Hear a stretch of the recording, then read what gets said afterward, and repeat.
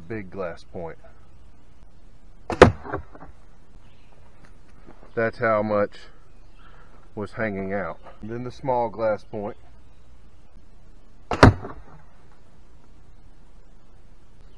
That's how much was hanging out the back.